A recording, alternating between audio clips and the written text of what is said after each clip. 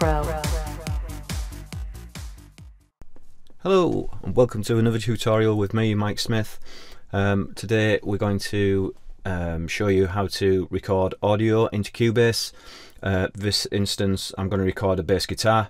It's going to be me playing so you'll have to excuse the really bad bass guitar playing. Um, so yeah let's get started. First of all we need to uh, create an audio track so if we right click in this area add audio track and we're going to have a count of one. Configuration is set to mono. We could have had a stereo etc but we're going to stick to mono.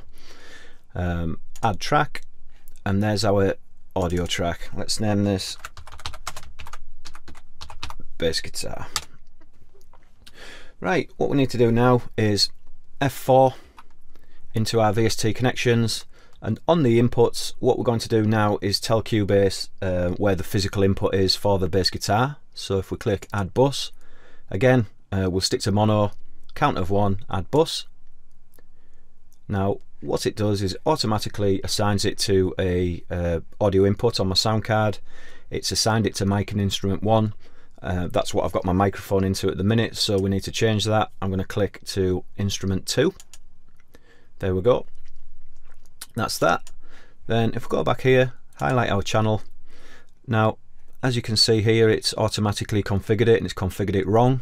So we need to click in here, make sure it's set to mono in and then it's set to master there which is the master output uh, within Cubase which is fine. So records enabled we need to press the monitor button so we can hear what's happening. I'll just get the guitar.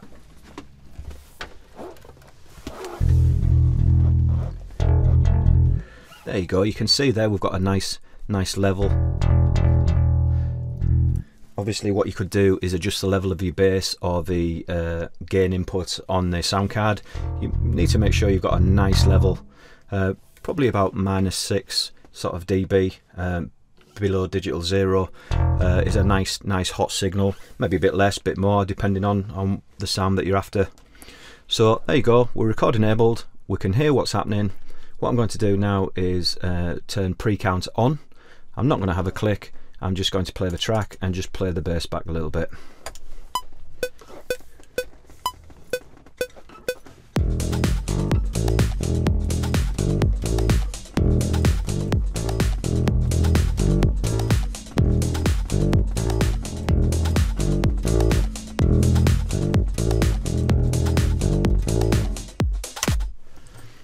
There you go.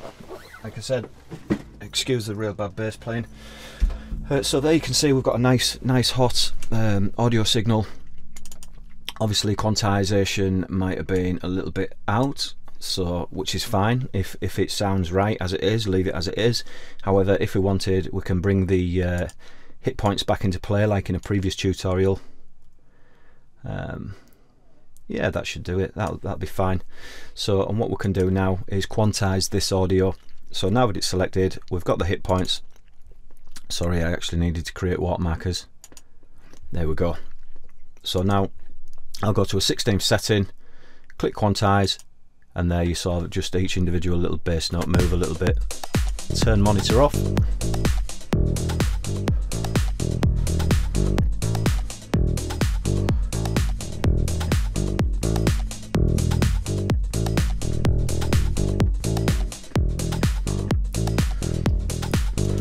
So there you go, that, that's it. That's basically recording audio into Cubase 7.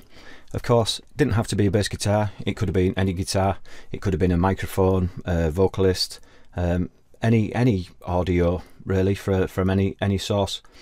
So that's basically it. Like I said, if you've got any questions, don't forget to get in touch. And of course, you can always subscribe to my channel. So until next time, bye bye.